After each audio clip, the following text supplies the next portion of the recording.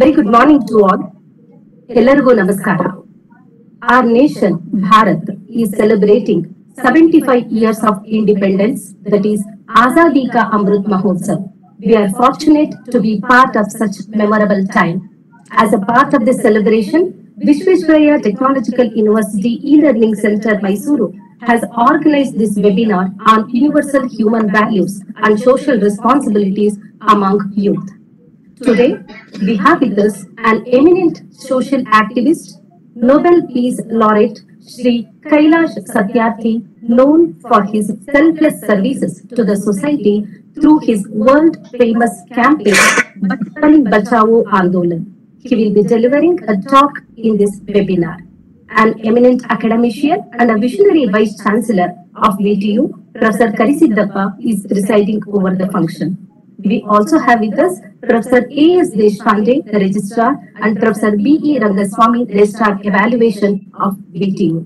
Thousands of students and faculty of various institutions affiliated to VTU have joined this webinar through VTU eShikshana YouTube channel and WebEx. Now, may I request Professor A.S. Deshpande, Registrar VTU, to deliver welcome address. Over to you, sir. Namaskar and very good morning.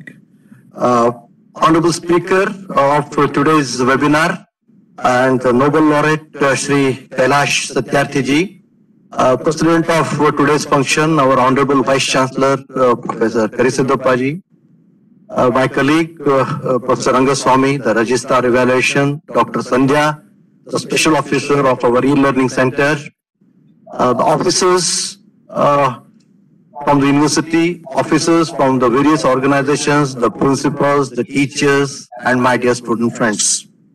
It gives me a great pleasure in extending a warm welcome to Honorable Sri Kailash Satyarthi ji for today's webinar. Uh, undoubtedly, it's a great uh, moment and occasion for the university. Uh, VTU is one of the largest technological universities in the country with close to 3 lakh students spread across the state of Karnataka with 220 plus colleges. Uh, the university has been doing exceedingly good in the domain of technical education. Uh, in line with the vision of our Honorable Prime Minister, uh, university has already initiated uh, the implementation of national education policy in a very, very effective manner. And as a part of this initiative, uh, we have been insisting on to the students to get themselves involved more into the universal human values and understand the social responsibilities, which I think is extremely important for uh, today's youth. And if you look at the definition of engineering, uh, you know, at the end of the day, we must contribute something to the society. And I think uh, this particular seminar would certainly uh, take us in that uh, way. Uh, on my personal behalf and on behalf of the university, I extend a warm welcome to uh, the Nobel laureate uh, Sri Kailash Satyarthi ji for today's webinar. I also extend a warm welcome to our Honorable Vice Chancellor, Professor Karisiddappa ji, though he was very busy with some government meetings in Bengaluru. He could manage and he is with us today for the program. Thank you so much, sir. Welcome to you on behalf of all the university officers and the students. Welcome to uh, Sri uh, Dr. Rangaswamy ji, Sandhya ji, and all the officers and our friends who could uh, make this uh, today's program happen. Uh, just quickly, uh, a brief introduction, a brief profile of uh, Kailash Satyarthi ji. Mr. Kailash Satyarthi has been a tireless global advocate of children's rights for four decades now. He left a lucrative career as an electrical engineer and started Bachpan Bachao Andolan, Save the Childhood Movement, to rescue children and their families from the shackles of slavery, paving way for their reintegration into mainstream society. Under his aegis, the movement has rescued over 1 lakh children from the scourge of bondage, trafficking, and exploitative labor till date in India. In the year 1998, Mr. Satyarthi conceived and led the largest civil society network for the most exploited children, the Global March Against Child Labor, that traversed across 103 countries, covering 80,000 kilometers, mobilizing unions, civil society, and most importantly, the children with a sole demand for an ILO convention on worst forms of child labor. This march led to the adoption of ILO Convention uh, 182 on the worst forms of the child labor, which went on to become the fastest ratified convention in the history of ILO. Mr. Satyarthi is also the architect of the Global Campaign for Education, an exemplar civil society movement working to end the global education crisis. Mr. Satyarthi is credited for the first ever civil society, the business coalition by establishing RUGMARK, not known as GoodWeave, uh, the first of its kind certification and social labeling mechanism for child labor-free carpets. This mechanism was engineered by Mr. Satyarthi much before the phrase corporate social responsibility was even coined. In the year 2014, he was awarded the Nobel Peace Prize for the struggle against the suppression of children and young people and for the right of all the children to education.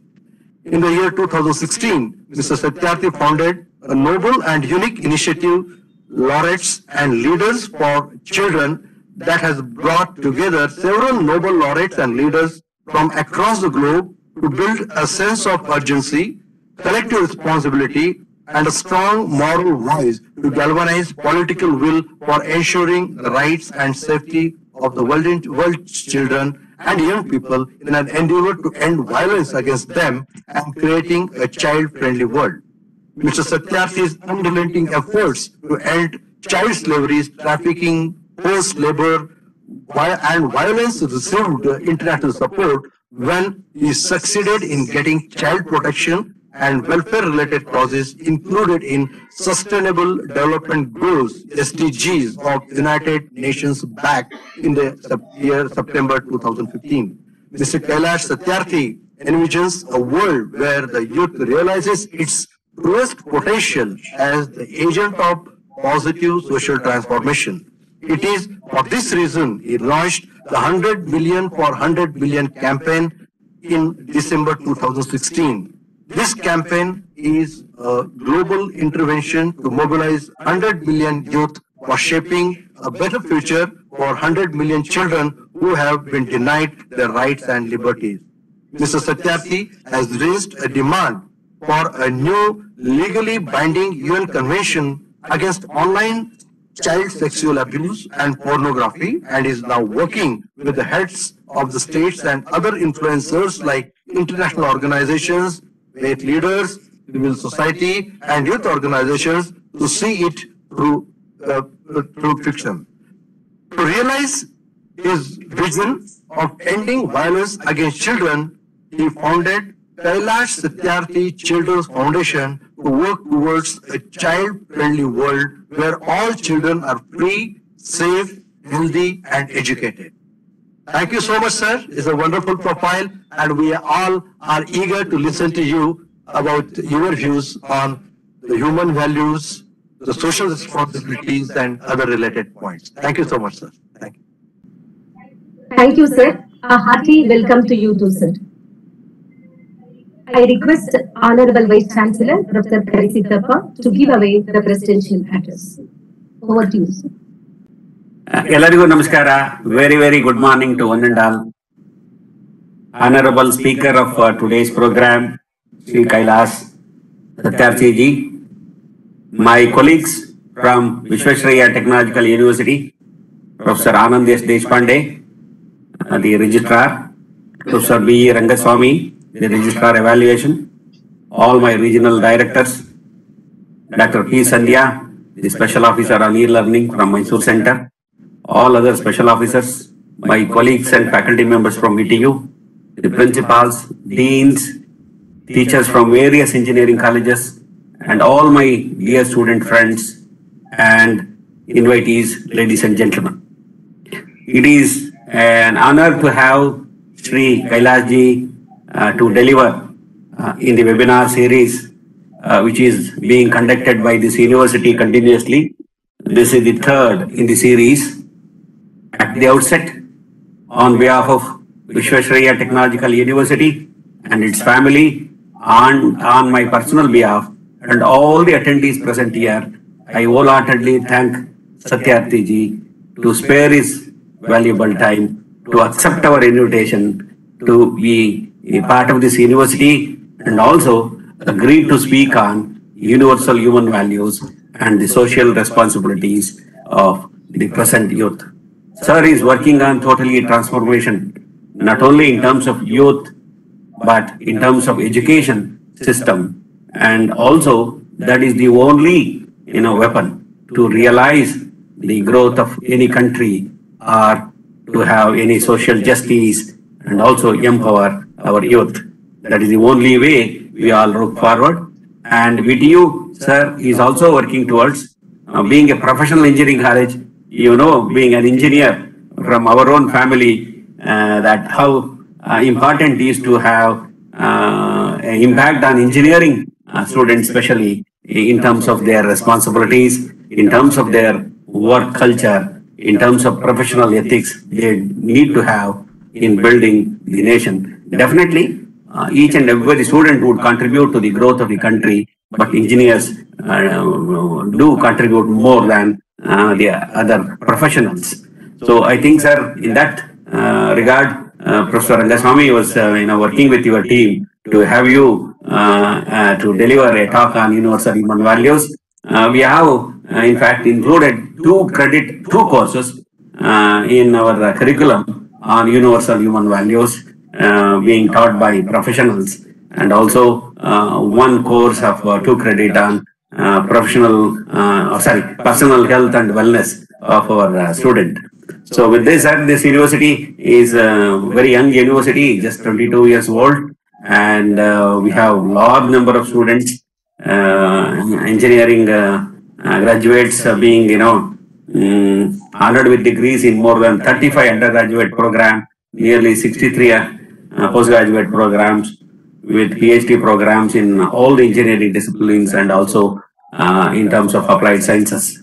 Uh, sir, we are really blessed to have you on this uh, occasion today. Uh, we are very much eager to hear you uh, on uh, the values and the professional ethics and the universal human values and also youth em- empowerment as per your foundation. You started working on uh, child-friendly world. Uh, we all strongly believe that uh, with uh, in, in an education system like ours, if the students come with smile and go with smile, I think we have achieved our target.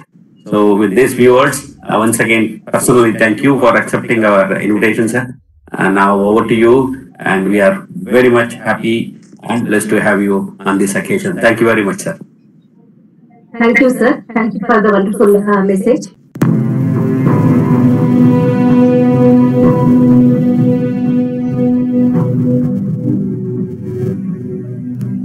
The Nobel Peace Prize for 2014 is to be awarded to Kailash Satyarthi for the struggle against suppression of young people and children.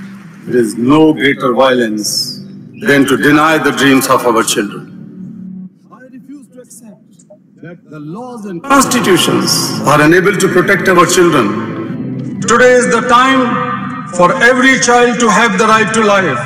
I refuse to accept that the shackles of slavery can ever be more stronger than the quest for freedom. I refuse to accept here.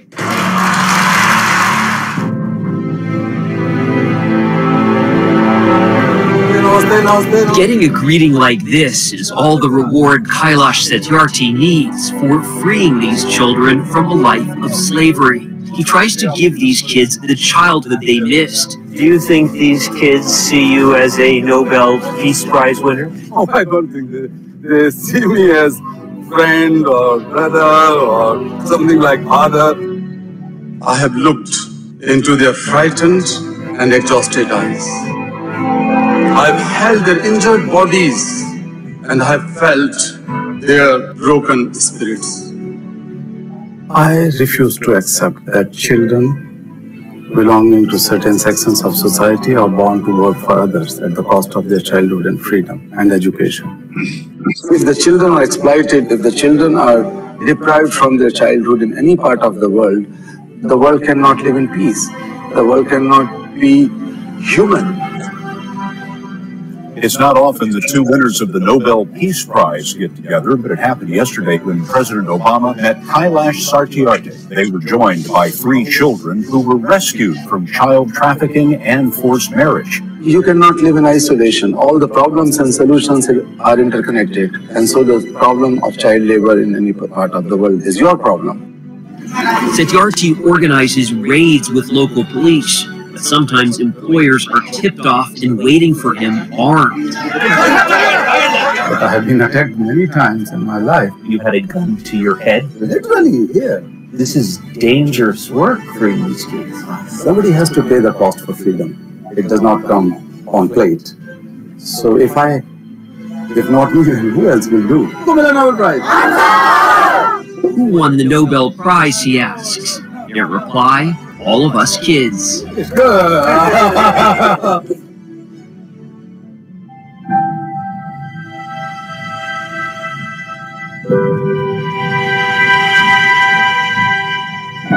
Every single minute matters. Every single child matters. Every single childhood matters. Now it's the moment everyone is been waiting for. Kailash Satyarthi over to you. My dear young friends, Vice Chancellor Dr. Karisiddappa ji, Registrar, organizers, sisters and brothers.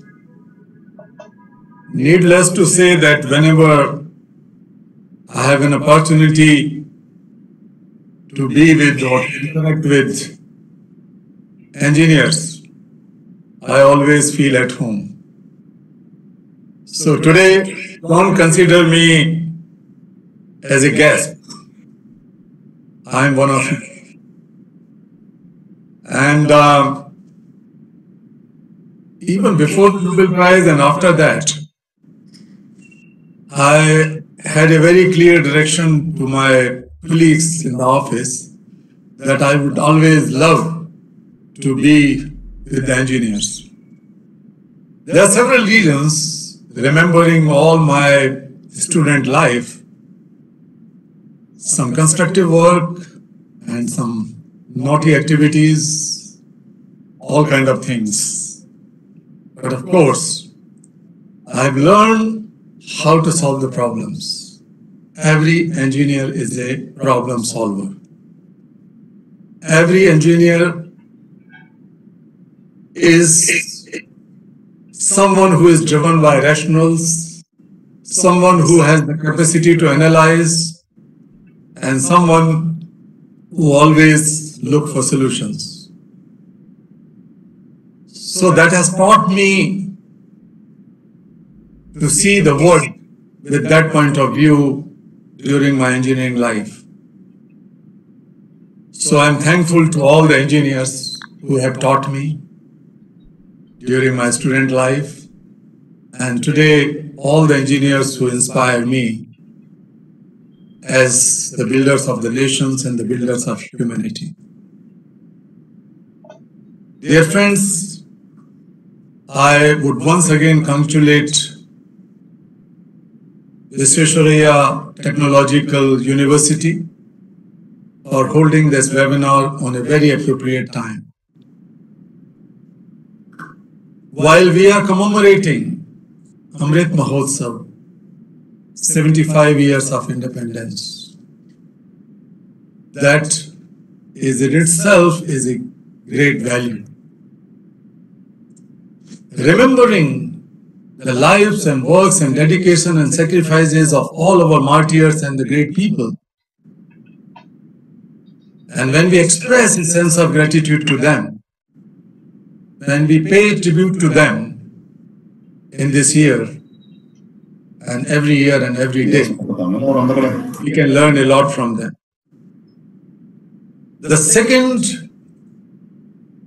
reason of this appropriate timing is that the world is struggling with uncertainty, with unknown fear, due to corona pandemic. Not only in India, globally, we are all frightened with one to next to next mutation of COVID-19. And that gives us a lot of challenges, but a lot of opportunities to learn. In these challenging times, I said that this is not only a health crisis. This is not only an economic crisis. This is the crisis of civilization. Because civilization is built on collective thinking, collective behavior, collective actions, collective decisions. And in today's world, these collective thinking, decisions, actions, priorities are changing. So it is affecting the entire civilization. And therefore, we have to dig out some of the core values which are universal. We have to learn the very fundamental and basic thing from this catastrophe, this situation. And that is that world is interconnected, the world is interdependent. No problem could be solved, even no problem could be seen and analyzed in isolation. That interconnectedness is something which is driving us, and we have to learn this lesson from it. We are walking on the same earth. We are living under the same sky. We are getting energy from the same sun. Is it not enough to inculcate this value of oneness in the society? Today, dear friends, I would be dwelling upon three major values, universal values. As we know that these values are desirable virtues that support and encourage the full potential and the full expression of our humanity. And that's why they become the universal values. We are very lucky, most of us, to be born in India, which is the mother of, of universal values, universal thinking, universal uh, sisterhood, brotherhood. We are born in a country where thousands of years ago our rishis, our munis has given us a very simple and clear solution to the problems, but also our own identity as one family. They say, I am Nijah Paroveti Ganana Laguchetu Sham Udar Charitanam Tu Vasudhaiva Kutumbakam. This is mine and that yours. This is the notion, this is the feeling of those who have a mean mind mentality. Those who are liberal in their hearts. For them, the entire world, the entire universe is one family. That sense of oneness, that sense of one familyhood comes from Indian soil. And that's why we also believe the Vedas say that Bhumi Mata Putroham, Mata Prithvi Putroham. The entire earth, the planet, is like our mother, and we are the children of that motherland.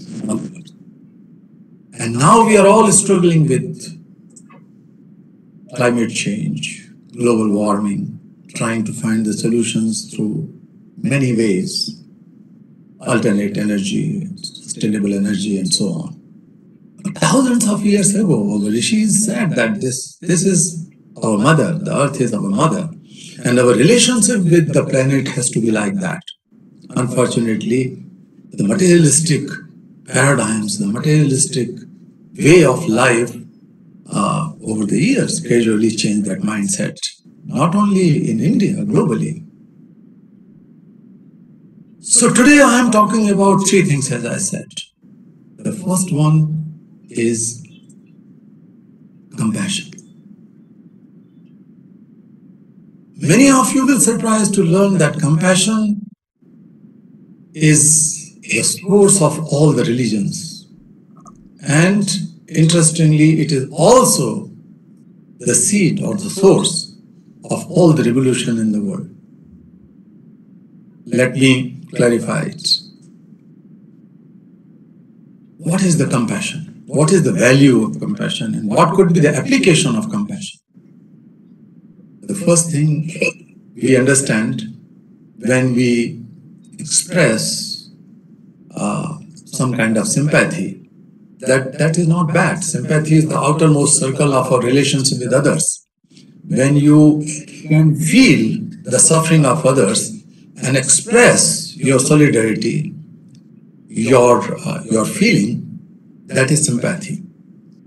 Then the inner circle is empathy. Empathy is a, a feeling when you feel the suffering of others as your own suffering. And that makes you sad sometimes, happy sometimes, uh, but that is the next inner circle. But the nucleus lie in compassion. Compassion is much more deeper than this. Compassion is the feeling for the suffering of others as your own suffering with a drive, with a desire to take action to alleviate that suffering, to end that suffering. So, compassion has both elements. One is your connectivity with others at a deeper level to feel the suffering and difficulties of others as your own, but also gives you a drive, a courage to take action to end it as it is your own suffering. I could share two examples. One was the very first day of my own schooling. I was born in a modest family. We were not poor, but we were not rich either. My father uh, was a policeman in Madhya Pradesh Police. He passed away when I was uh, 16, 17 year old. And my mother had to work hard and my uh, brothers uh, supported me for my education and higher education and so on. But the very first day I went to a local municipal uh, school, Hindi school, and I encountered something. A boy my age, five, six year old boy, was sitting outside the school gate. He was a cobbler and he was looking at me and other newcomers. Perhaps we are going to give him some job of shoe shining or shoe repair, but we were all having new shoes. But I looked at his eyes and he was looking at it at us with eagerness, but also with the desire, perhaps. So we can give some money, some job. And I kept these eyes with me in the classroom and I asked my teacher, Sir, the first question, first interaction in my school life began with that. I asked my teacher, Sir, why a child is sitting outside? Because I was thinking that every child was supposed to go to school. And why he is working? My teacher said, Come down, this is your new day, make new friends, and so on. I said, Okay, sir. I returned back and I saw the boy still sitting in the open sun. There's no umbrella, there's nothing.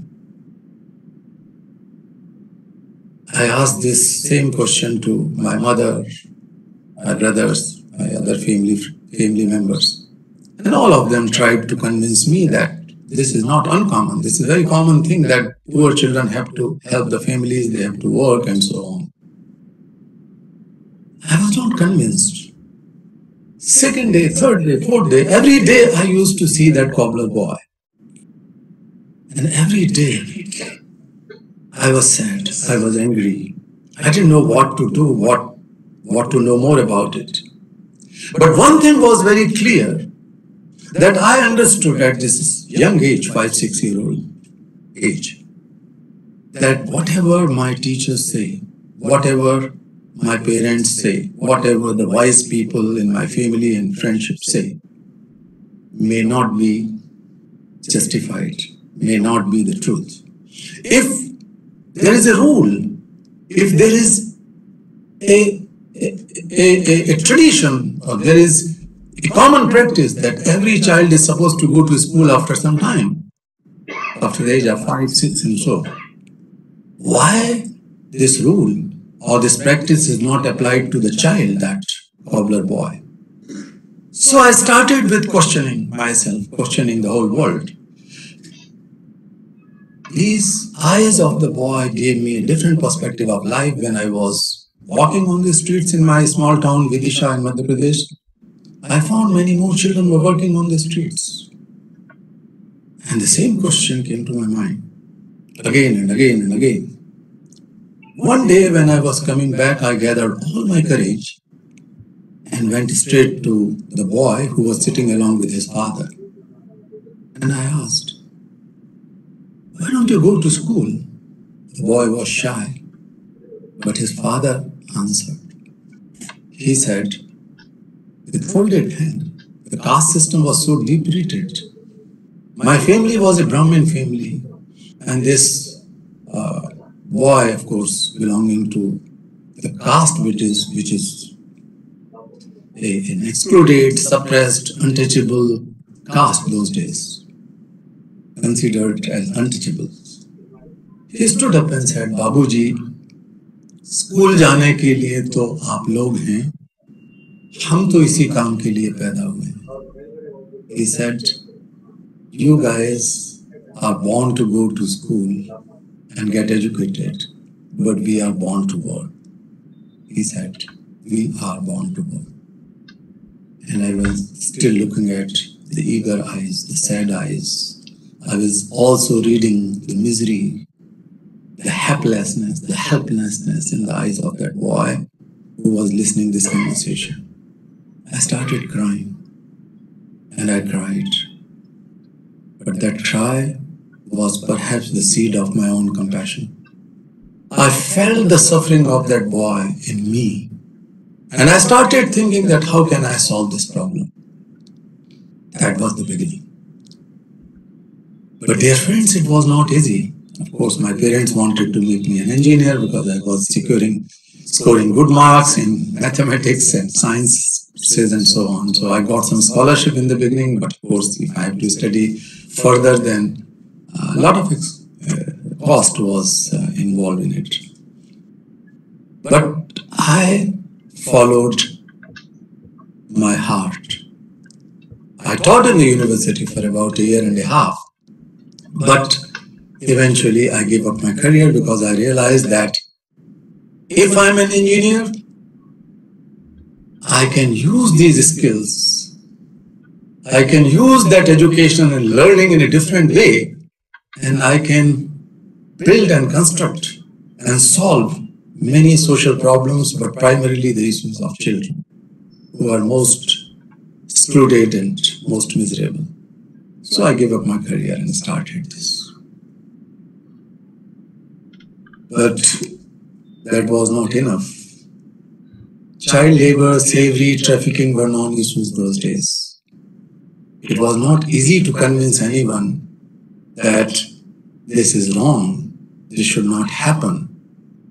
There was no study. Many of you will uh, be surprised to learn that there was no international program. There was no scheme in India or in most parts of the world. There was no news coverage, there was no discussion, no talk, absolutely not, in the parliament or any of the uh, state assemblies. Uh, but that was about, uh, say, 50, 60 years ago, 50 years ago. So I started a magazine that was dedicated for the most marginalized children and women. One day, a frail, thin, older, elderly, elderly looking person knocked on my door. His name was Wasal Khan. He was a desperate father whose daughter was about to be sold to a brothel.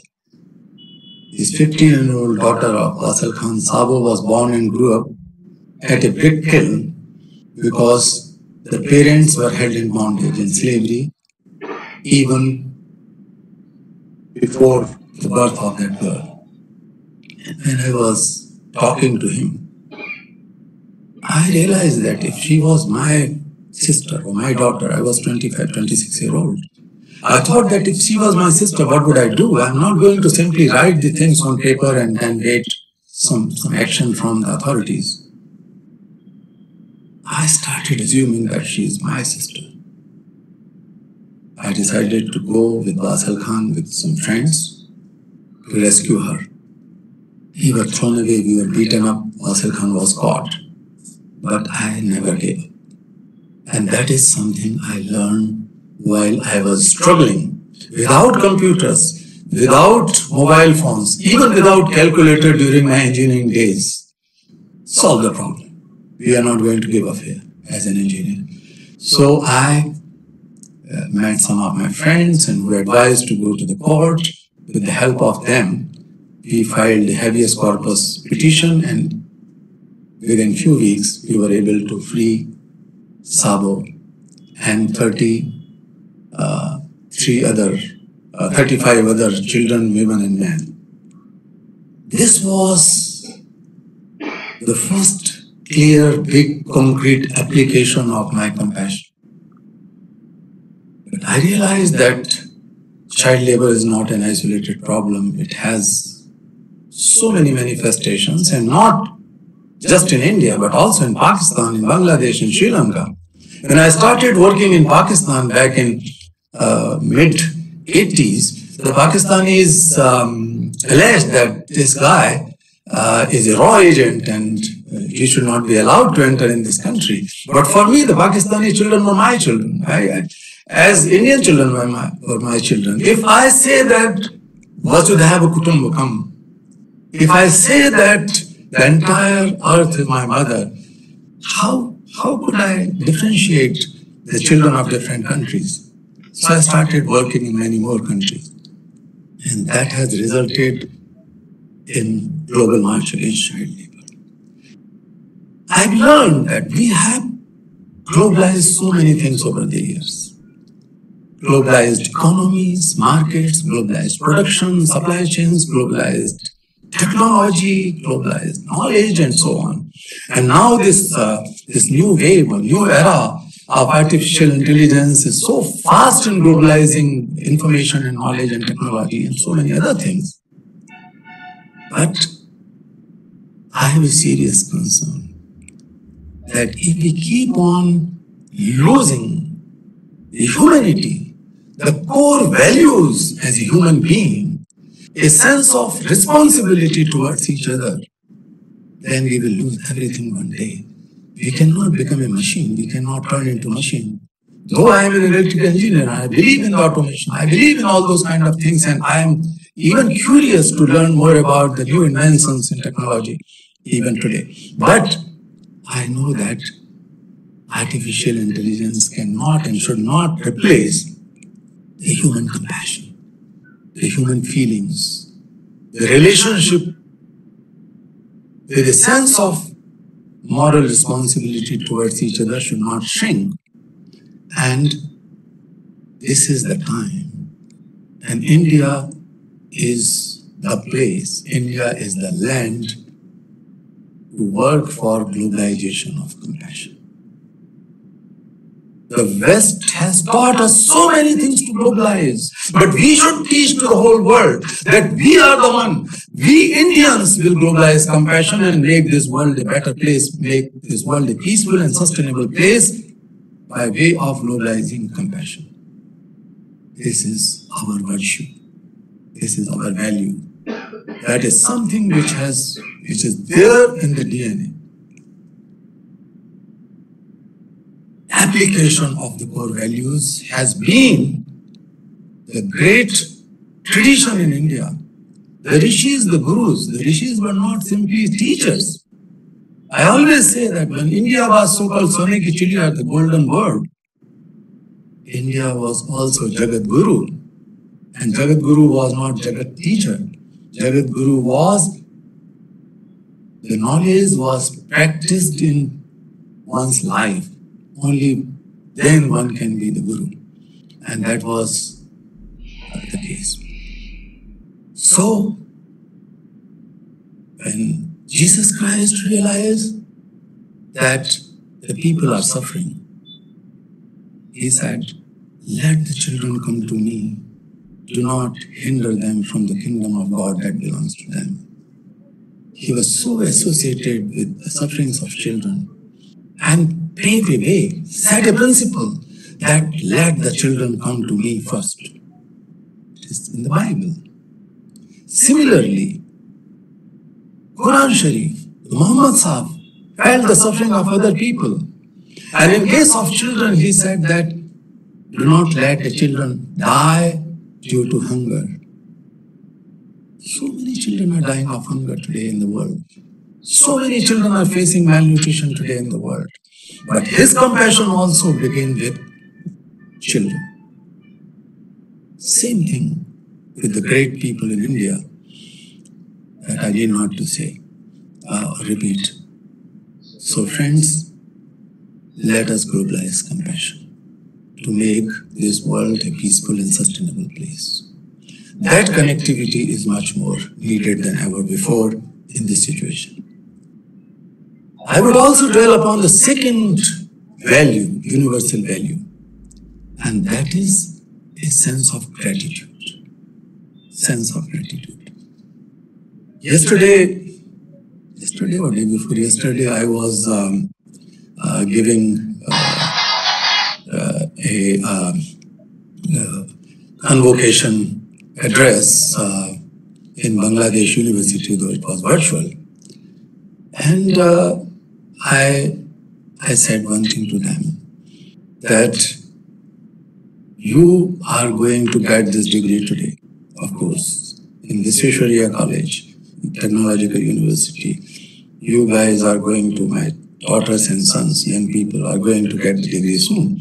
But every day, if we feel some sort of gratefulness to all those right from our childhood to now who made it possible.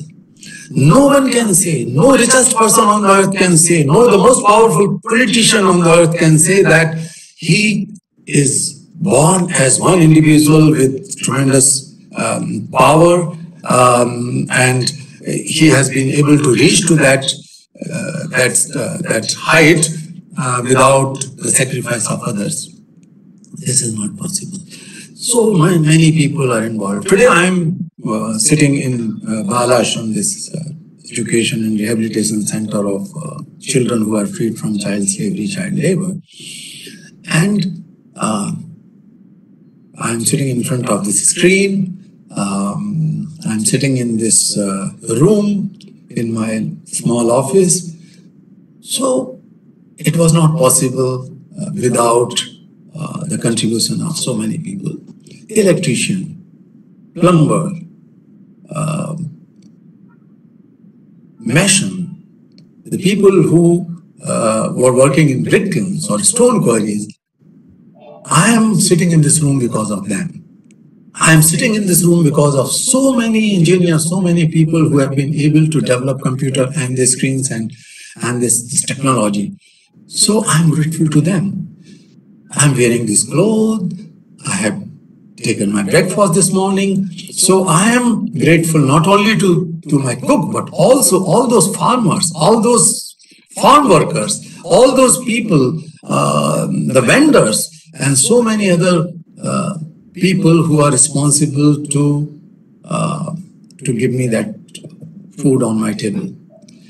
But today we are slowly losing this great value of gratefulness, gratitude. Gratitude joins us. But gratitude also gives us more kindness, it makes us more enthusiastic. There are so many interesting uh, scientific studies and sociological studies. Uh, sociological studies prove that those who are grateful to others, those who are having the feeling of thankfulness, they are better human beings, they are better businessmen, they are better professors, they are better doctors, better teachers, and so on. So the combination of compassion and gratitude makes you a better human being, but also better leader, better businessman, and so on. There is a scientific biological study about gratefulness that gratefulness helps in uh, in increasing neuroplasticity. And that sets brain cells in a better way. So the grateful people are much more clearer in their perceptions, in their decisions than the people who believe that they are the one who are responsible for their success. And they are the one who should be credited. Only they should be credited for their success. Similarly there's another study which uh, has been done in, in i think uh, um, somewhere in america i forgot that it the, the, the, the, feeling of gratefulness and feeling of compassion helps in increasing of ador, uh, endorphin inside uh, us. And that gives enthusiasm that gives energy that gives us uh, a sense to take initiatives and so on so that is the second thing to be grateful in this situation if we are alive today if we are active today if we are flourishing today if we accomplish something today it is because of so many other people very simple things but it will help a lot so I'm not going to talk about uh, the big thing of liberty and peace. These are the values which are interconnected, but I'm focusing on something which is very practical. And the third thing is inclusion. That is also highly connected with these two.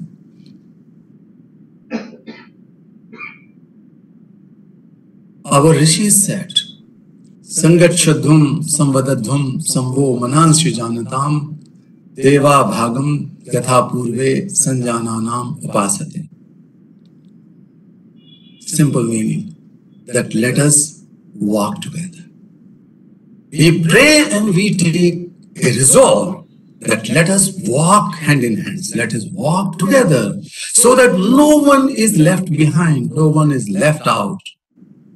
It's a great political message also that we have to create an environment in a society, the environment of level playing field, the environment of giving equal opportunity to everyone, giving an environment where people can speak together. It, it says, the mantra says, Rigved mantra, Samvadadhvam. We have to create an environment where we can speak freely, fearlessly.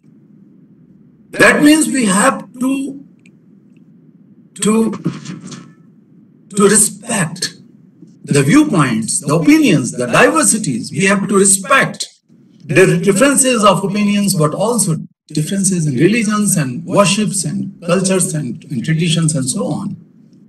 And that is another thing, that how we are going to learn inclusivity.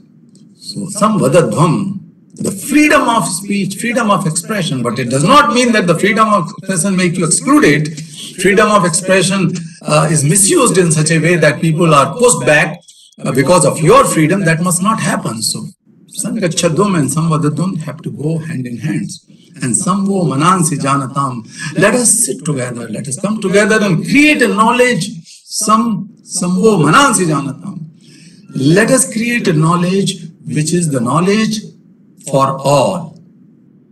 So this exclusivity in keeping information and knowledge and data, data monopoly, the data apartheid, I would say, the data um, uh, businesses, all these things are discarded in this mantra itself that let us create a knowledge which is knowledge for all. So democratization of knowledge, democratization of technology, democratization of artificial intelligence, is the core message comes out of this. And that will make the society inclusive society. And if the society is not inclusive, then we cannot think of justice. The value of justice, universal justice, is not possible without creating a culture of inclusiveness among ourselves, creating a character. Individual person has to inculcate that that character. So that is another thing. Um, I would say the third thing. And then I'm sure that young people could be the biggest drivers of all these values and much more.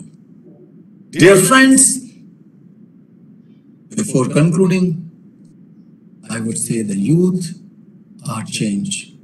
Youth are today. You are today. You are tomorrow.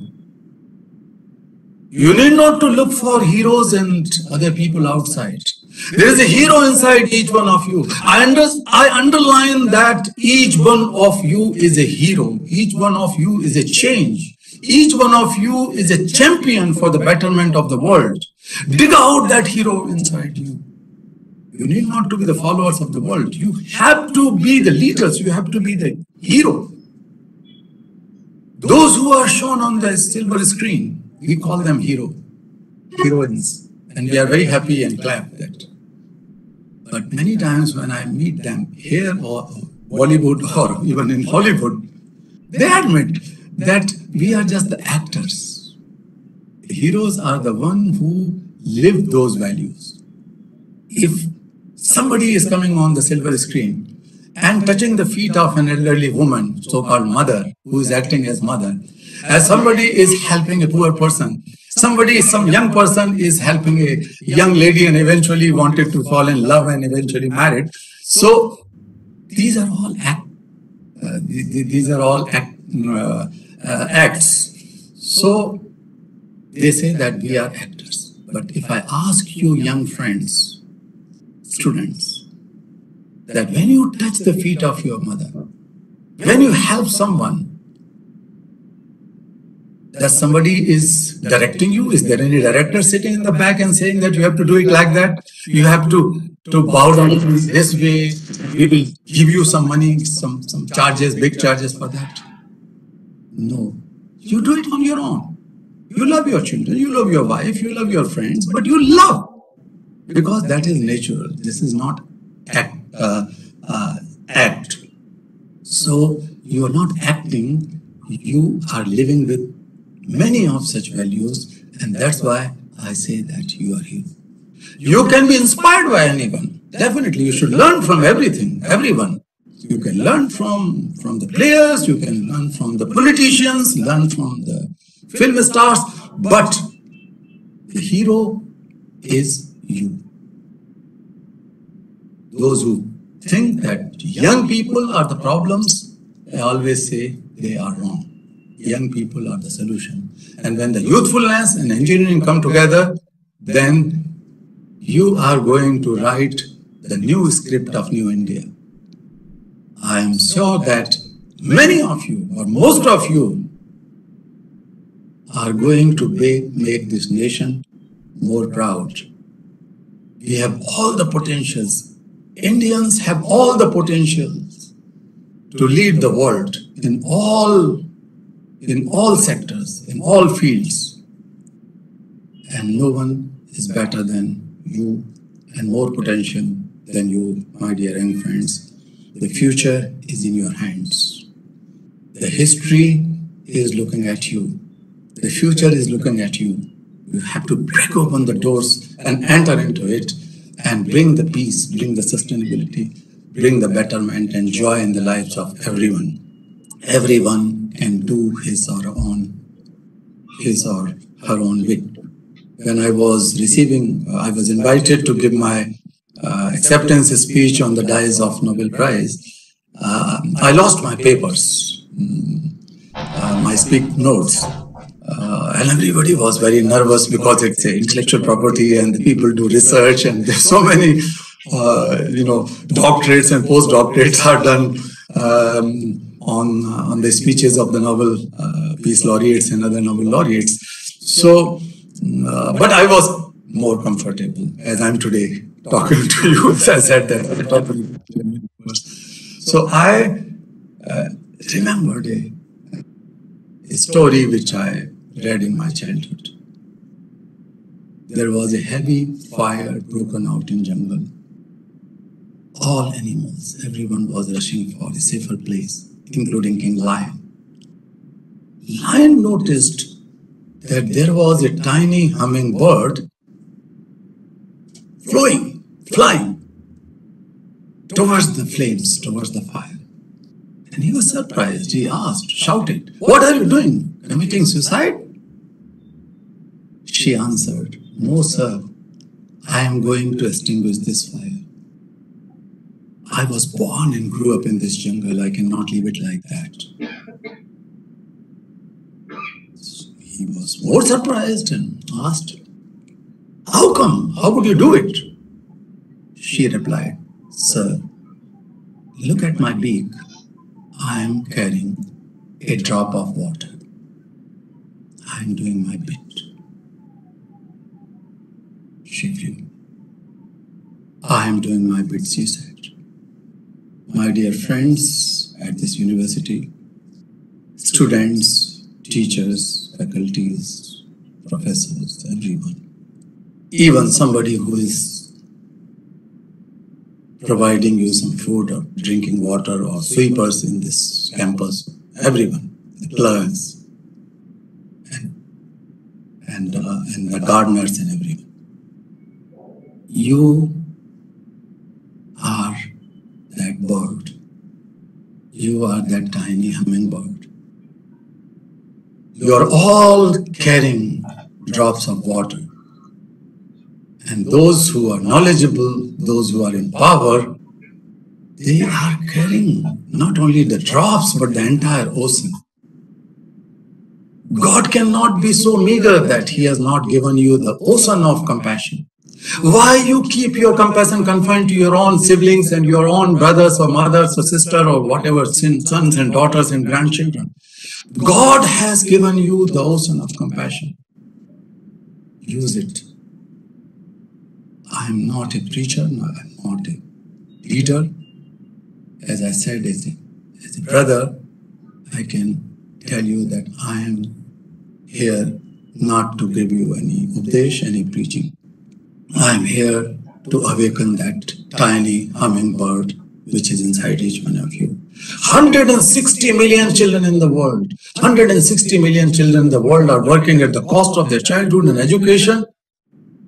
Whose children are they? Those who are producing wealth at the cost of their freedom. Whose sisters and brothers are they? Those who are working in the factories and giving you these clothes, who are they? Those who are working in slavery in brick kilns and stone quarries, who are they? Those children who are making sporting goods, your footballs, your cricket bats, who are they? They are all your brothers and sisters, they are all your children. Ignite the power of compassion, power of compassion. Feel that you carry something in your beak and you are not going to leave the world without extinguishing this fire of violence and intolerance and exploitation and injustices around you. We have to make our motherland great proud. Thank you so much. Thank you, sir. It was a wonderful and great talk. Thank you, sir. Thank you for igniting our young minds. Uh, now, may I request Professor B. Rangaswamy, Registrar Evaluation, to propose vote of thanks.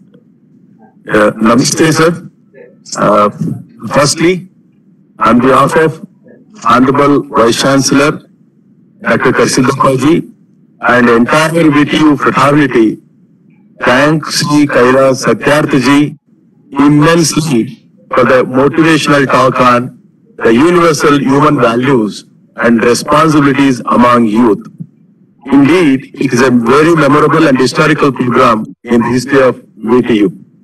My dear colleagues and Honorable Vice Chancellor, Registrar, friends, today is happened to be the birthday of Honorable Kailash Satyarthi ji. And uh, this today is celebrated across the country and most of the other nations also as Surakshit Bachpan Divas on eve of Kailash Satyarthiji's birthday. Sir, we wish you a happy birthday and long live. Thank you so much, sir. Happy birthday, sir. Thank you so much. Many, many returns on the day.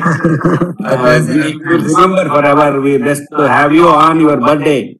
And I think it will uh, be the part of history of uh, Visvesvaraya Technological University. My pleasure. My honor. Thank you so much. Yes, So, yes, sir.